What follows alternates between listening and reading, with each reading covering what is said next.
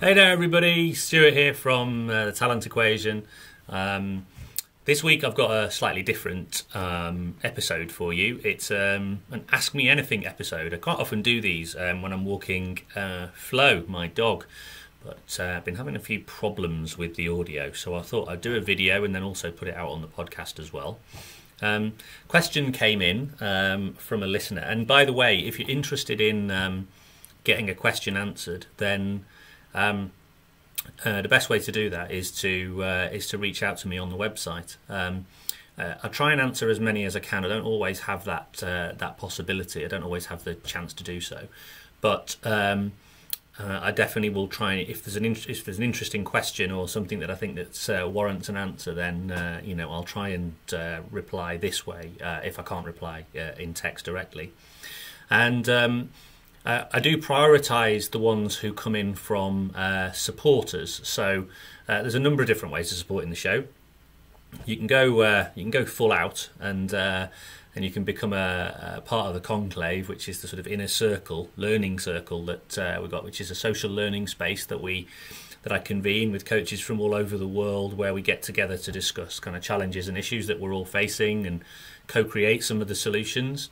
Um, but equally, you know, there's there's a number of other ways as well. Um, you know, uh, Conclave comes with a little bit of financial support because there's obviously some work involved in convening and pulling that together.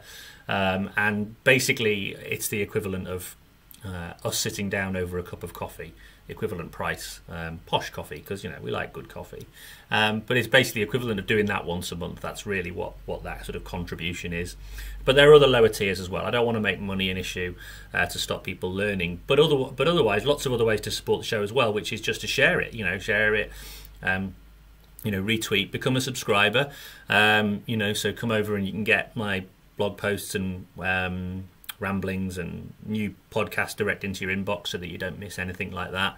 Um, and then obviously just telling all your friends about it. There's lots and lots of different ways of doing so.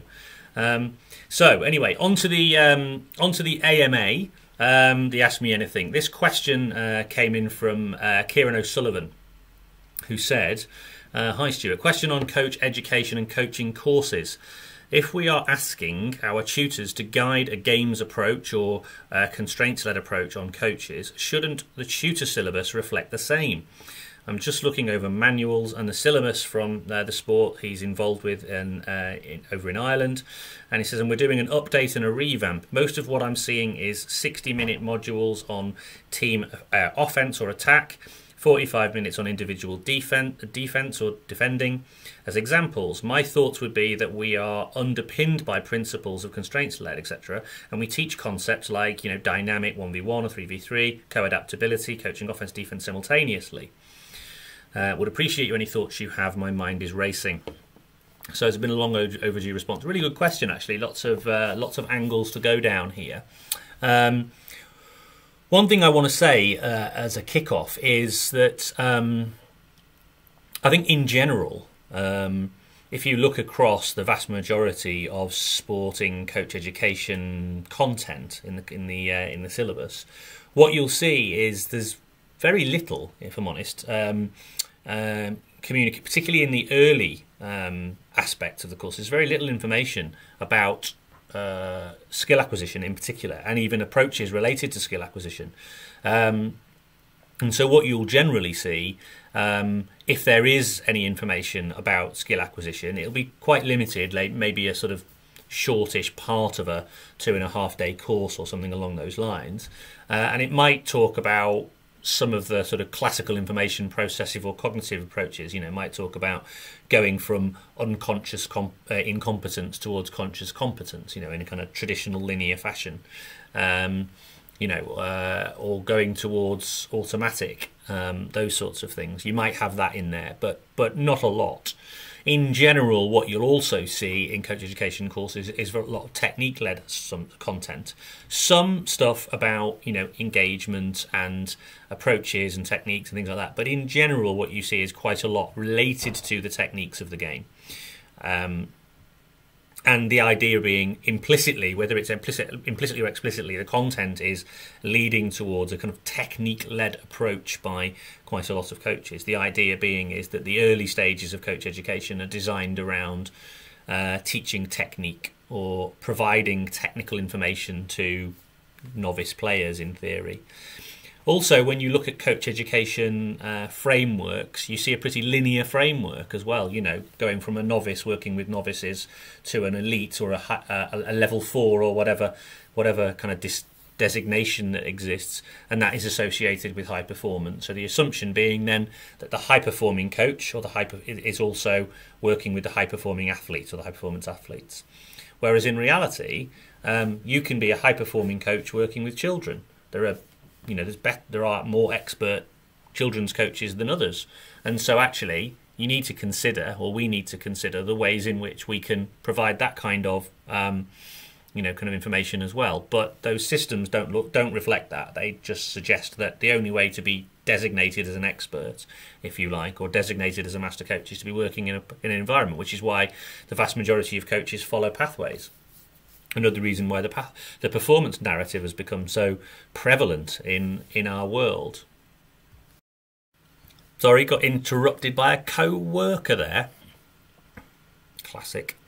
Um, so anyway, um, yeah. So what I was saying was, so you, what you see is you see these linear systems, and that's a major issue as far as coach education systems, and you see that reflected in the content as well. So the content is often um, utilizing traditional linear approaches um, to coach education, usually quite instructive. Um, I remember distinctly being on a, a you know a, a, level one course um, in rugby a number of years ago, and um, I remember that I had a discussion with my tutor because I didn't explicitly check for understanding because that's one of the coach education criteria, and I said, but I didn't need to check for understanding because the I was observing the athletes and they were demonstrating their understanding by acting in accordance.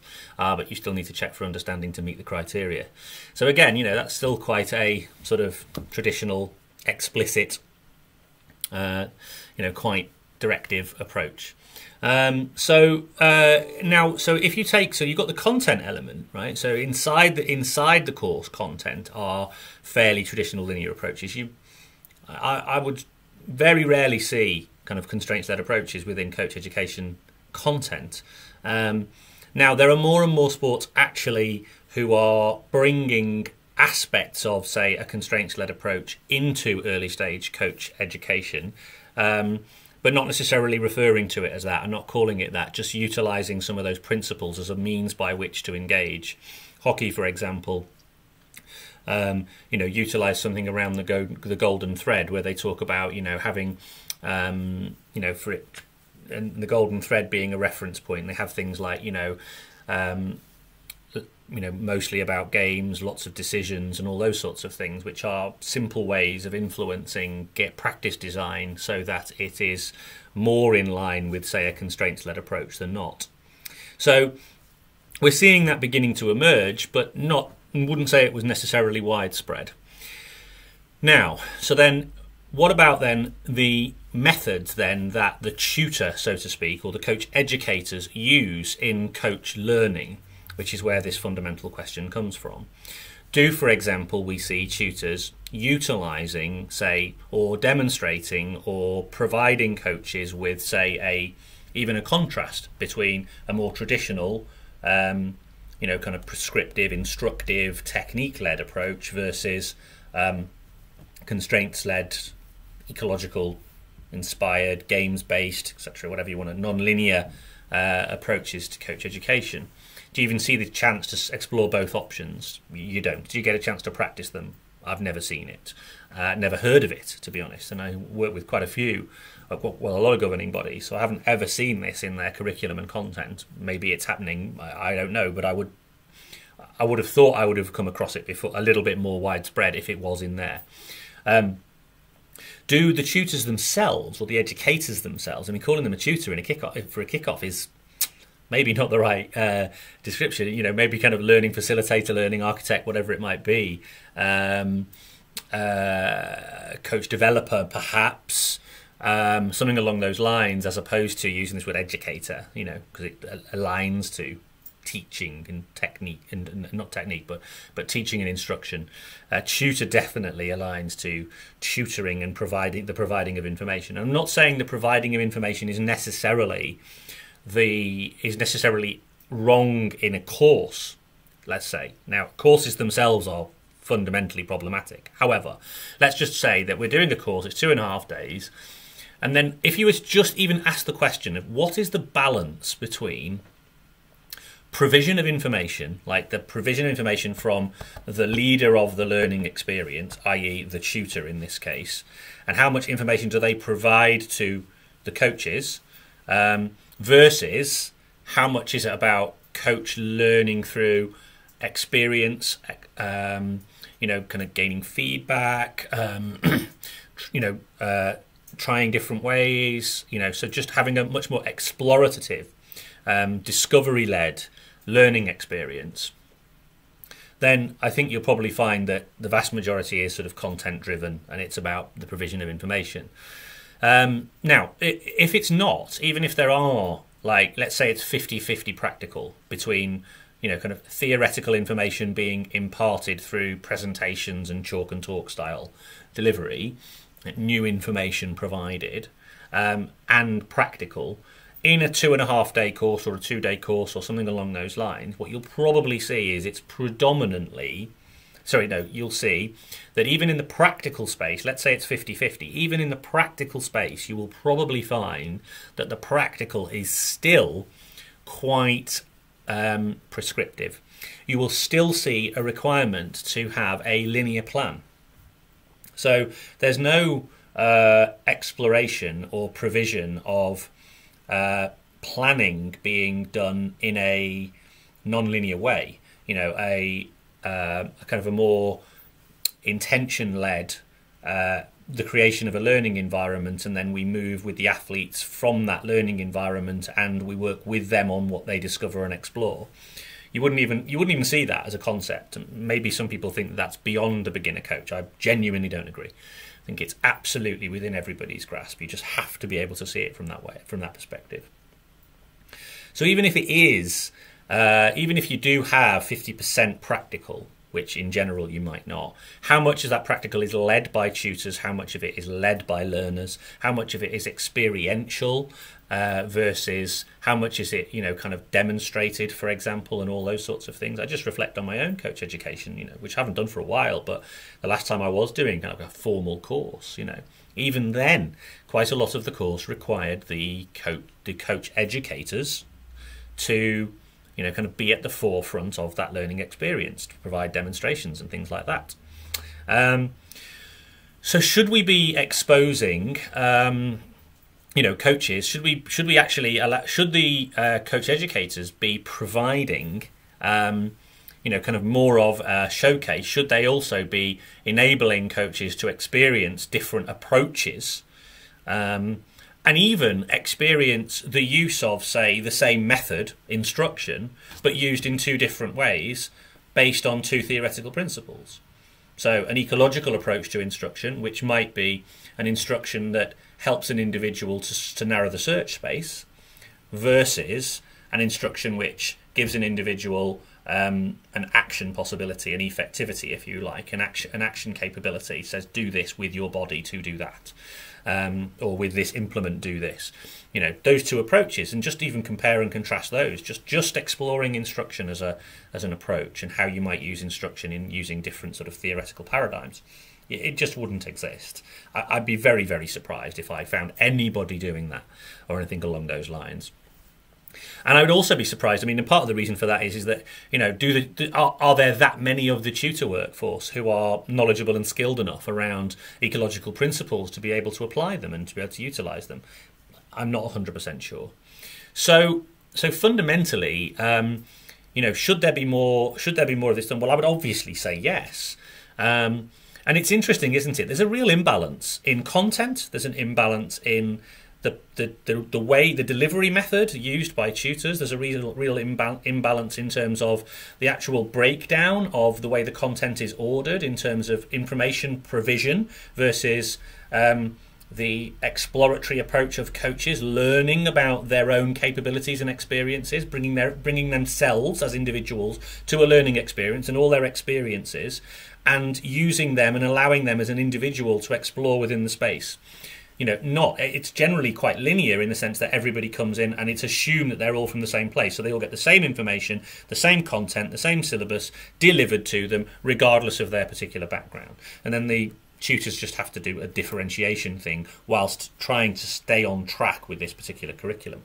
So that in itself, so the way it's framed, the delivery methods and the approaches, and then finally within that experience, even if there is a practical experience, is the practical experience designed in a, using an ecological lens as a means by which to facilitate learning? No. In general, I would say no. Uh, should there be more balance? Well, I would argue yes. Um, I, I, often get accused um, of being unbalanced when I present um, you know, kind of an ecological account to uh, through the work that I do through the podcast and through the videos I put out on the YouTube channel um, and through my blog posts and things like things like that. I get criticised by academics all the time, saying you're unbalanced, you're providing one view, you're dogmatic. I don't believe I am unbalanced because there is already an imbalance. The imbalance exists within the majority of coach education design and delivery. And so this is a rebalancing of that by providing post qualification content to coaches looking for different answers through the provision of lived experience and through the provision of other individuals who are exploring in the same in the same way and providing their lived experience and a combination of their lived experience and also some research that comes in that area. Because this isn't provided, if this was provided in coach education in a balanced way, um, then I wouldn't probably need to be doing what I'm doing now. I would probably be talking about slightly different things in a different way.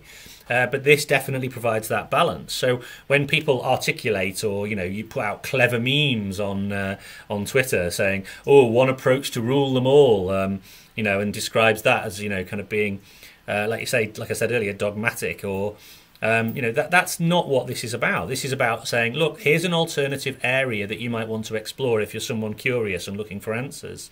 Because what you were provided in your coach education only gave you one perspective, or a very limited perspective on this alternative approach, and that's how an awful lot of people eh, you know come along these lines so they, so, so I, I, very much reject the calls for balance and if they do want to make calls against me for balance, then they, should also be making the same calls of those people who design coach education systems to provide an equal amount of balance into coach education. Um, and I don't see academics doing that as, as readily. It's much easier to have a go at uh, bloggers and podcasters, isn't it? Um, anyway, that's a personal little rant I was just getting out of the way there because uh, there's a few people who are uh, who are, are within the academic community who really should be spending their time in a very different way, not making clever memes. But anyway, they have done, and it gets up my nose. So I just thought I would share with you that. So anyway, um, long and short of it, should we be doing more CLA and Coach Ed? 100%. Um, I genuinely believe it would be very interesting to see how some early stage coaches utilised and were able to sort of choose from these sort of mixed methods and understand difference, the different sort of roots, ontological roots of these different ideas and how different methods can be used in different ways depending on how you view learning and who you're working with and all those sorts of things.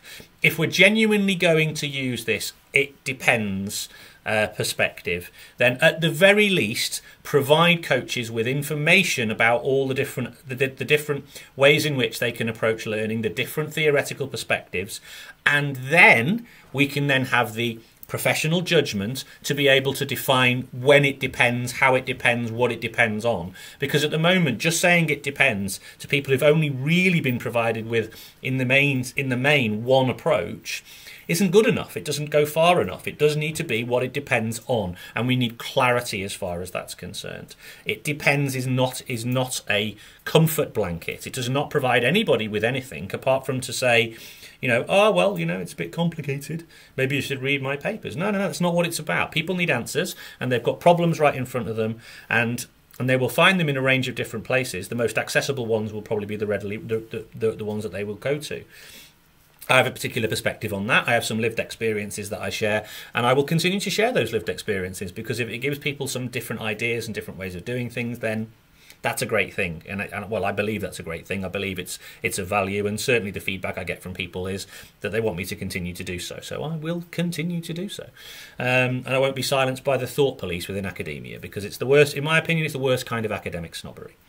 Anyway, there you go. Bit controversial, perhaps. Um, prompted by uh, an important uh, an important question, and I think there's one that a lot of people should be thinking about. So, uh, if you are designing coach education systems, then maybe pause, give it a think, have a think about the different uh, approaches that you might take in the course to the learning experience for those individuals, and find a means by which to provide, you know, the appropriate level of balance, but also the appropriate level of experience for those individuals, depending on the level that they're at. Hope that was valuable. As always, um, if you're interested, you know, if you found this uh, video useful, hit the subscribe button. helps to helps to get more people to find out. Like, like, like, share, share, share, all of that jazz, like people always say. Um, head over to talentequation.co.uk. You can sign up and subscribe. Uh, you can find the supporter thing. There's a Patreon button there as well if you want to be, go further and join the conclave and become part of the social learning learning group that we have. Um, and I uh, look forward to uh, seeing you. And if you like this, hit something in the comments. Uh, write to me. Got any further questions? By all means, send them through. Uh, I do like responding to questions. Uh, I think it's uh, you guys come up with the best questions, and I like to try and respond to them wherever possible. So, in the meantime, have a good week, and I'll see you again soon.